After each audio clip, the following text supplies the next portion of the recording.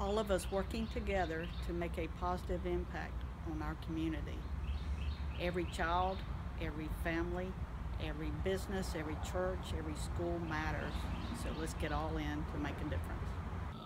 my my emphasis in all in is is strengthening the workforce uh, and uh, helping them develop a, cl- a clear uh, career path and uh, help them accomplish uh, that uh, because I feel that a uh, strong workforce makes a strong agency.